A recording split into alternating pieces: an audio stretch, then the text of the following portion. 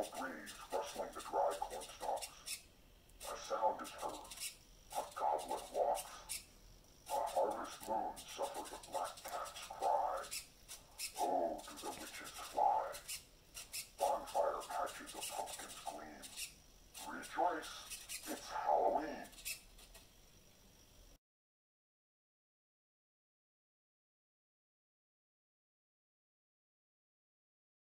Thrice the brinded cat hath mewed, thrice and once the hedgehog whined. Harper cries, "'Tis time, 'tis time."